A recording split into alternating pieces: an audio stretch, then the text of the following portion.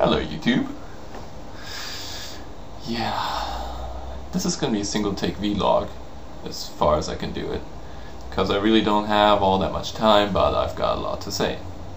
So first up, this video probably shouldn't be happening and I'll tell you why. Originally this Aeric Winter channel, I have to confess, was only designed to make 50 videos. And when those were over and done with, I wanted to close it and leave. And that's a big confession to make. Um, thing is, I switch interests quite frequently, and I have a lot of them. And um, I, when I came across YouTube, I thought it was so awesome, and uh, I loved interacting with the people. I loved punching out videos, and I think it's helped me a lot um, too. But I'm kind of suspicious of that kind of fun. You know, I don't want it to end badly. I don't want it to trickle out into boredom or just be blocked or be forced to make videos because people expect it to. I want to do it because it's fun. So I'd originally put like a date of what do you call it, expiration date on it.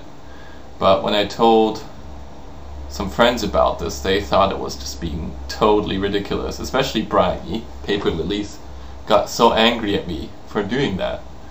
And now that I come to think of it, there have been friends who've left me on YouTube as well, like Geo45 and um, I am a Llama Face 2, and I really miss them.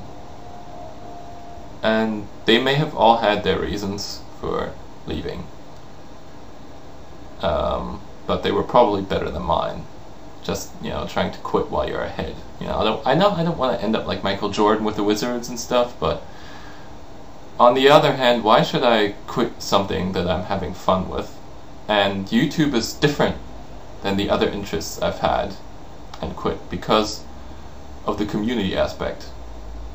Because we've got face-to-face -face communication with friends, I've made some really good friends here. I've decided to, you know, just saw the old plan and just keep on doing what I'm doing. So yeah, it's it's kind of weird. I feel like a bit newborn or, you know, it's sort of like having booked a flight on a plane that's crashed, but you missed the departure. Anyway, so I've got a lot of ideas left. I just need to organize them now and you know put them in order and um, to continue this channel. So um, yeah, I just want to take this video to, to say quick thanks